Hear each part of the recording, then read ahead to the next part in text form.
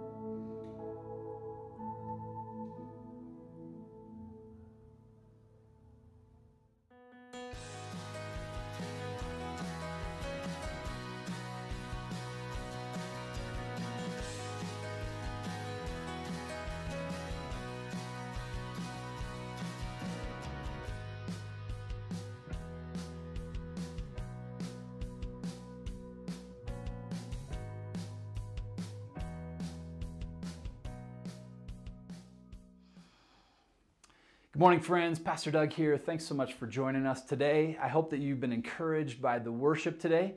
And I hope that now you're ready to open your heart, open your mind to God's Word. I believe that He's got a powerful challenge for us today, and uh, I'm excited about it. I hope that you are too. Would you pray with me and let's invite God to just truly speak to us, deposit what He wants to in our hearts and lives today. God, we thank you for your Word. We know that it is powerful, God. We know that uh, our lives have already been shaped by it, but we also recognize that we need to continue to be shaped. Lord, that there are things in our lives that need improvement. God, there are things that we need to be aware of and mindful of in your word. And God, our desire, our ultimate desire is to be more like you, to look more like you, to be the community, the church that you've called us to be. God, I thank you that your word gives very clear instruction on how we are to do that, what it's supposed to look like. And so today, as we jump into one of those challenges, I pray, God, that we would be open to receive the challenge. I pray, God, that, uh, Lord, that we would be willing to hear from you and apply your word to our lives. God, may it truly shape us. May it truly change us, change us for the better. God, we, we want to glorify you. We want to honor you. And so today, God, would you deposit your word in our heart in a way that would bear fruit? God, that we would truly uh, be the people, be the church that you have called us and designed us to be. In Jesus' name I pray. Amen. Well, we are in uh, our series called One Another, looking at these New Testament challenges of how God wants us to live in community. In fact, it's really a blueprint for how we're supposed to do it. And uh, we've been looking at it for the last several weeks. And last week we were looking at uh, one of three uh, of these challenges that Jesus himself gives. It was wash one another's feet. Just as I have done for you, I want you now to wash one another's feet. We we were looking at it not as a obviously implementing a foot washing ritual within the church, but rather as a commitment to serving, a de- dedication and a devotion to serving one another, being willing to humble ourselves and even in a shocking way, to get out of what the world would say is our normal place and to really humble ourselves and to serve the people around us. I want to look at another statement from Jesus today, another one another statement. In fact, it's not just a statement, it's not just a suggestion. This one is a commandment. It's in the same chapter that we were looking at last week, which is uh, it's not a coincidence. It's actually uh, it's actually interesting how God used the foot washing uh, illustration to set up this commandment that he gives us in John chapter 13, verse 34. And uh, the commandment is this Jesus declares, A new commandment I give to you, that you love one another, just as I have loved you, you also are to love one another. And I'm going to stop right there. We're going to look at the verse after it as well in just a moment, but that's really the focal point. That's where we're going to be today. This new commandment that Jesus has given us to do what? To love one another. I've been talking about this throughout the weeks as we've been looking at the other one another challenges from Paul and from others in the New Testament. And I've been talking about how love, loving one another, is really the glue that holds all the others together maybe a better way to, to say it would be this is what fuels us. This is the really the, the source, the motivation to live out all the other one another instructions that we have, how to live in community. And so this is a really important one. Uh, I think it's also really, really uh, important for us to recognize that this is a commandment, right? This is not a suggestion. This is not uh, someone exhorting us to do something that uh, that will be good for our lives. No, this is an actual commandment. And I don't want us to just breeze over that fact. I want us to pause and, and just begin by recognizing that as followers of Jesus, we live submitted to his lordship. We live surrendered to him as our king. And what that means is, I don't live unto myself any longer, that there is a greater purpose, a kingdom purpose for my life. And this is not just helpful instruction, this is a commandment from my king. So I hope that you see the relevance of us taking some time to really examine this, to really consider it, and to apply it to our hearts, and then see it how it plays out in our lives. And I think that as we do that today, that we're going to find some real clarity on what Jesus wanted us to, to know and to understand about how we are to love one another. So, this commandment, again, not a suggestion, uh, not a recommendation, this commandment that we have from our King is kind of interesting because when, when you first read it, it, it kind of feels like a, a command to feel something. Uh, I mean, if we stop long enough to, to think and evaluate what we believe about love or how we think about love, at least me in my context and in my limited uh, language uh, in English and a little bit of Amharic, you know, when I think about love, I think about an emotion, I think about a feeling, right? But that's not what Jesus was referring to here. The word that's used is agape, and it's an unconditional love. And what that says to me is that feelings and emotions are a condition, right? The feeling can go away. You can stop feeling warm fuzzies about someone. You can you can cease to have uh, the, the emotion that comes that often is how we define love. And that's what Jesus wants us to understand. And so when Jesus is commanding us to love one another, he's not commanding us to have warm, fuzzy feelings about each other. He's not commanding us to an emotion, uh, but rather to something far greater.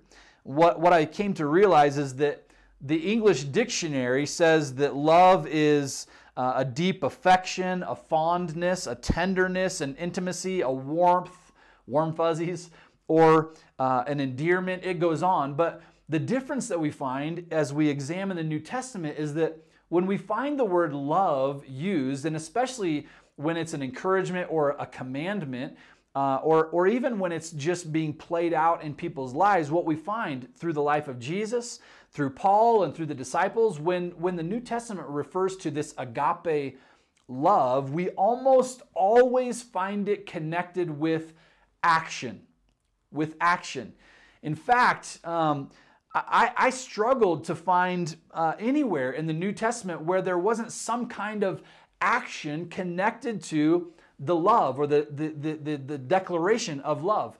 Uh, I would encourage you to go to your concordance. If you've got a Bible with a concordance, go to the back and look, look up love.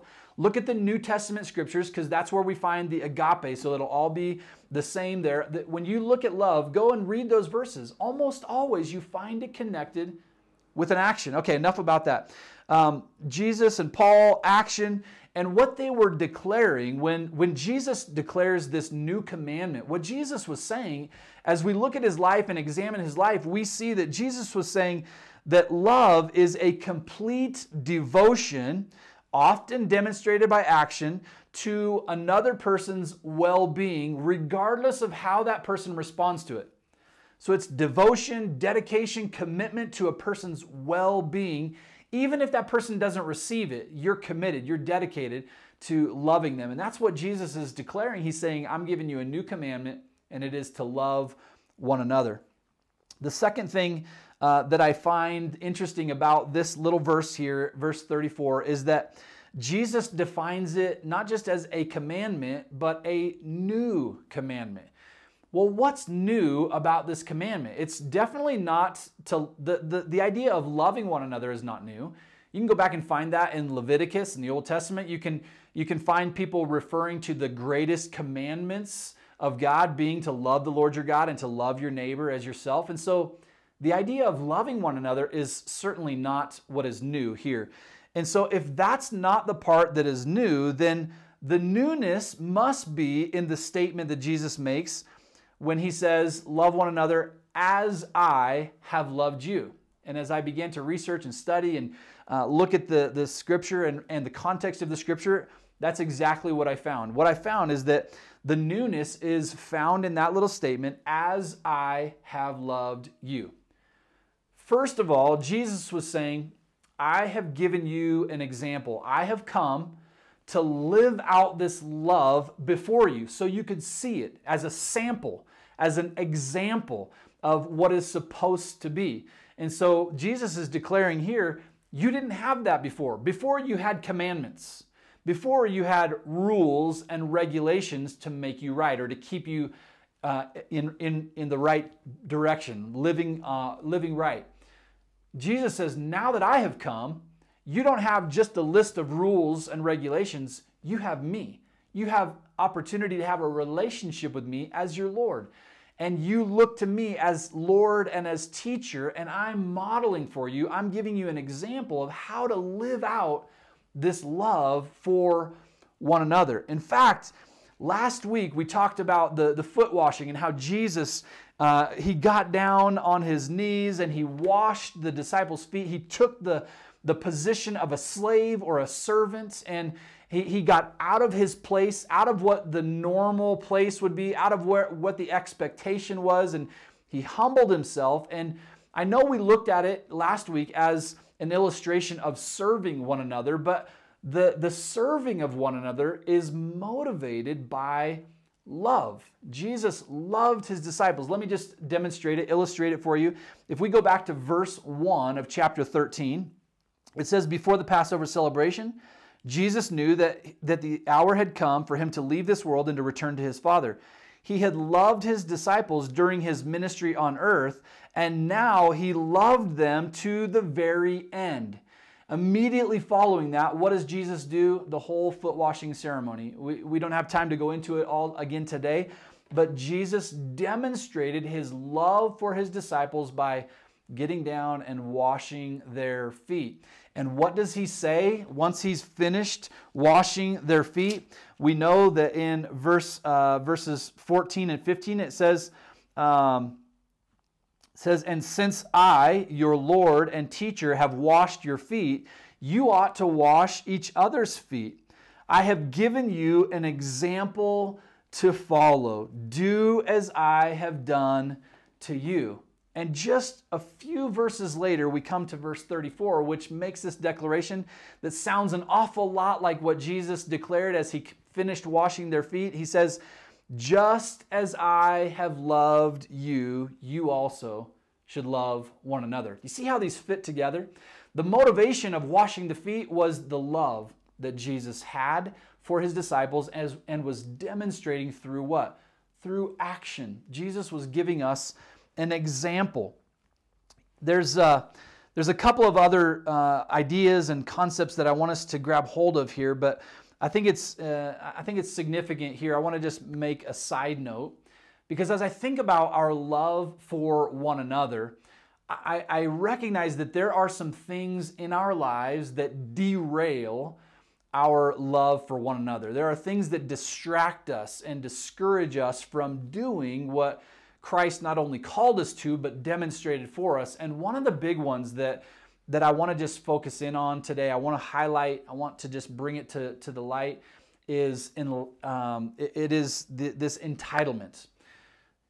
There are not many things that will derail God's purposes, especially with regards to loving one another, faster than entitlement. What do I mean by entitlement?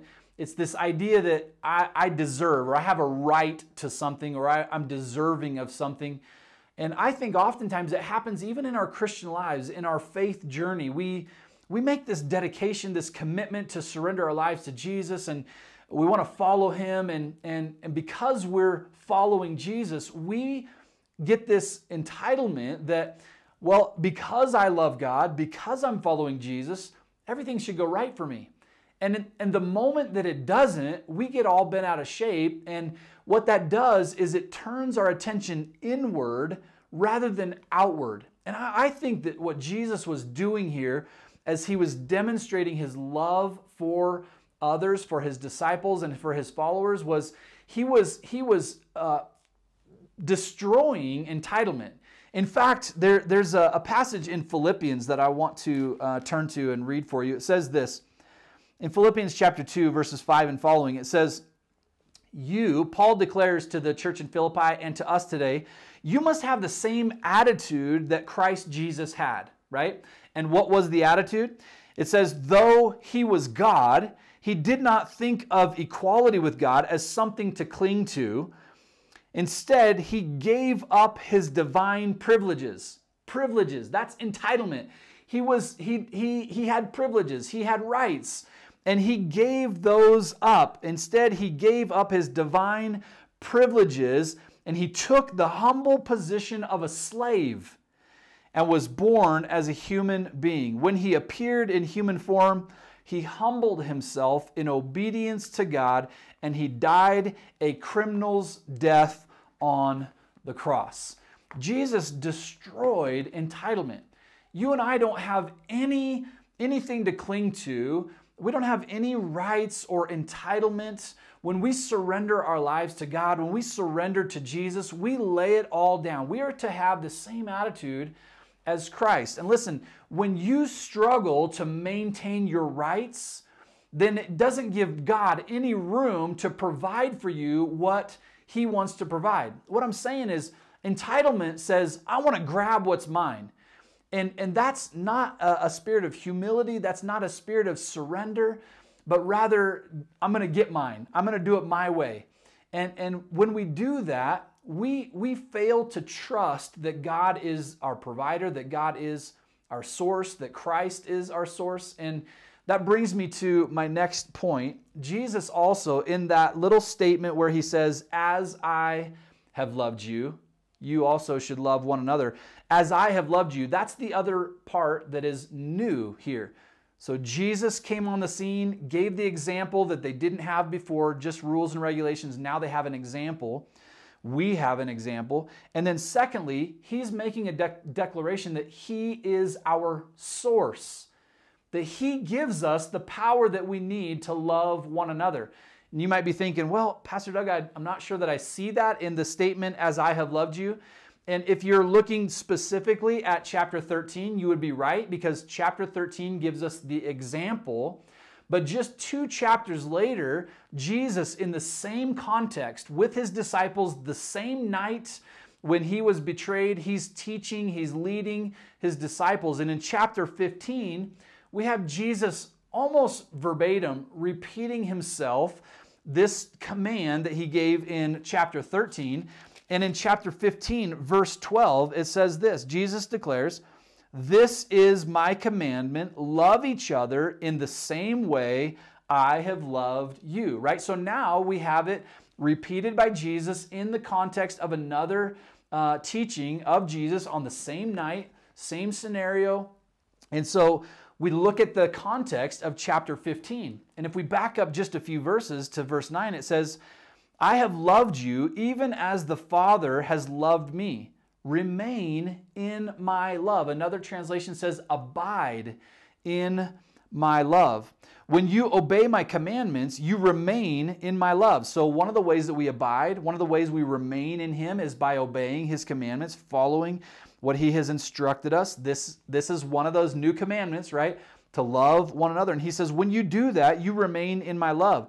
Just as I obey my Father's commands, uh, my co- Father's commandments, and remain in His love. Essentially, what Jesus is saying is the way that I was able to come and, and live this life and to live out this love is because I have remained in my Father's love.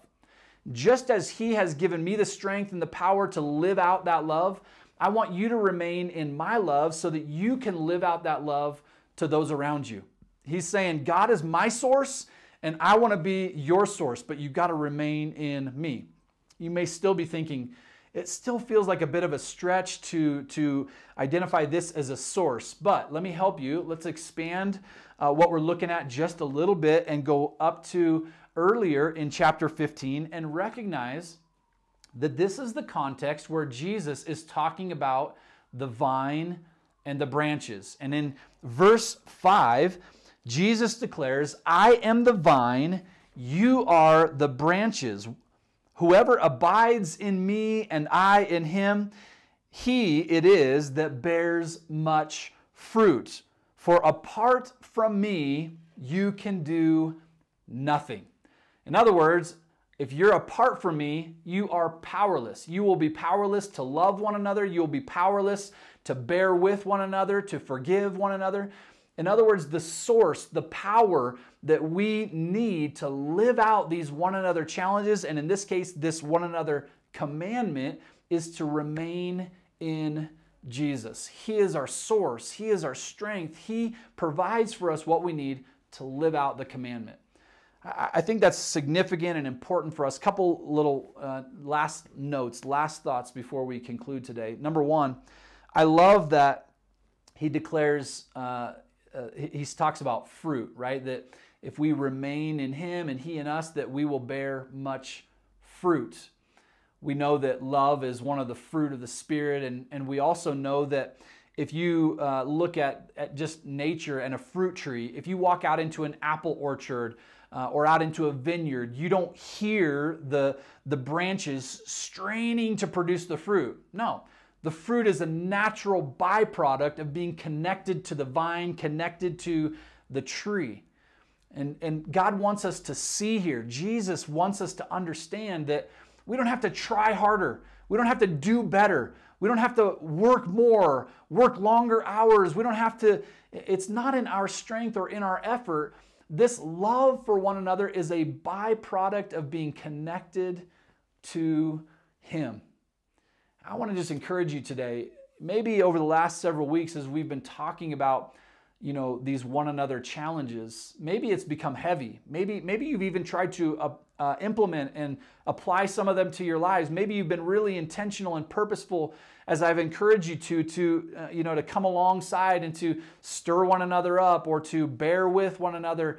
Maybe that's become heavy for you and and you're like man it, i just get tired. I get tired of trying and i get tired of trying and failing. And he- here's what i want you to hear today. Jesus is saying you don't have to try harder or do better. As you remain in me, as you abide in me, I will produce these things. The fruit will come to your life. It will be a natural outflow of God's love flowing through Jesus and into you and I.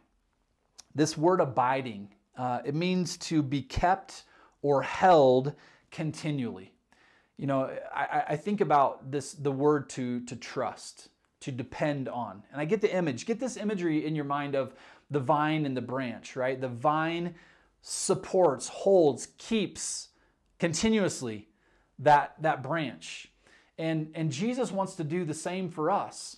And i think that the way that i most quickly detach from uh, from that place that I'm supposed to be with Jesus is when I when I fail to trust, when I fail to depend on Him. And what that looks like really practically in my life is when I start to get worry or anxious about things, when I take things into my own hands and I, I feel like I have to do this or I have to press on, I, I got to get this done, or and I'm not depending on God. Or maybe I'm I start worrying about something with, with my finances. How am I ever gonna be able to, to pay this bill or whatever it might be? And and I start to wonder how am I going to handle the situation rather than trusting and depending on my source, who is Jesus, and saying, Jesus, I don't know how we're going to get through this, but I'm trusting in you. I, am abiding in you. I, I'm finding my hope in you. My trust is completely in you. I'm supported, I'm kept, I'm held by you. I want to encourage you to lean into that place. Jesus wants to embrace you. He is right here ready for you to put your hope and your trust completely and wholly in Him. And as you do that, He will begin to produce the fruit that He wants to see in your life. Would you pray with me today? God, we, we thank you that you have called us to, to live out these things but you haven't done it without giving us the power and the source and the example through your son Jesus. Jesus, we thank you for doing it so beautifully, for walking it out, for living out your love before us. Lord, we, we get to see it in your word. And uh, God, you, you, you've given us your son who also gives us the power and the strength and the source. I, I thank you for the reminder this morning that your word tells us, promises us that it's not by might, it's not by power or our strength, but by your spirit. God, I, I pray, Lord, that your spirit would flow through us and that the fruit that you desire to see in our lives, especially this love for one another that really drives us to, to all the other one another, to all the other community instruction that you've given us. Lord, would you, would you produce that fruit in us? Lord, help us to, to remain and to abide in you, to trust and depend on you. I pray today for my friends who maybe are feeling tired and weary. They've just been trying and struggling and maybe dealing with anxiety and doubt and discouragement. Lord, I pray today, Lord, that they would find what they need in you, that they would press in and lean in to you, and that they would experience your power and your presence in their lives today. God, that they would find rest in you. And that as they rest, as they are kept and held in you, Lord, that you would produce the fruit you desire to see in their lives. God, we give you thanks and praise for the opportunity to be a part of your great kingdom, to be a part of your great community. In Jesus' name, amen. We love you. We believe in you. Thanks for joining us today. We hope to see you soon. God bless. Have a great week.